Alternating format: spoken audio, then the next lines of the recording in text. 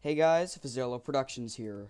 So, the Wii. It was a console that everyone had, but basically nobody really played. And the reason for that was because everyone who bought a Wii, well, majority of people who bought a Wii, bought it for the motion controls and didn't buy it for the actual games.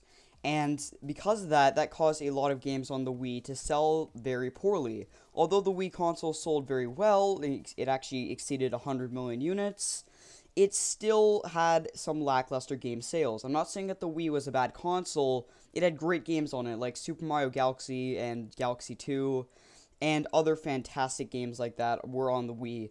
But when it comes to how many people played the Wii, the Wii fell behind the 7th generation consoles like the PS3 and the Xbox 360. Well, the Wii originally came out in 2006 and it's now 2018, so over a decade later, and finally Nintendo is officially killing off the Wii. I know that they've already discontinued it, but now it's time for the Wii to officially die. And why am I saying that? Well, basically what happened is that Nintendo is going to be shutting down WiiWare which is an online service to buy games on the Wii, and they're going to be shutting it down this week. So, on March 26, 2018, you won't be able to buy any more points for the WiiWare shop, and the WiiWare shop will basically just be closed. You won't be able to do anything really with it.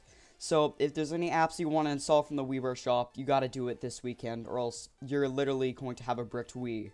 So, it does kind of suck that the Wii is officially going to die, because the Wii, as much as I think that it was a misstep for Nintendo because it led them to make the Wii U, and we all know what happened with the Wii U, I still think that the Wii was a good console for its time. It introduced everyone to a revolutionary, I'm using air quotes here, revolutionary feature, which is, of course, motion controls. And as motion controls were applied to game consoles, they started to more become just like an addition rather than a giant feature that an entire console has to be based off of, like the Wii. And it was because of the Wii that we had so many consoles cashing in on the whole Wii wave, as some would put it. You know, like you had the Microsoft Kinect and you had the PlayStation Camera, I think it was called, or the PlayStation Move. And they were basically all trying to cash in on the fad that was the Wii.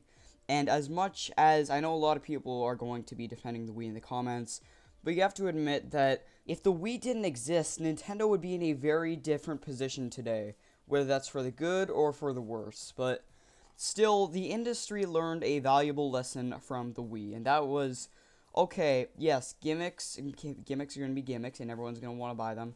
But still, you shouldn't base an entire console off of that because it's going to lead you to make some decisions that's going to completely throw you out of the game.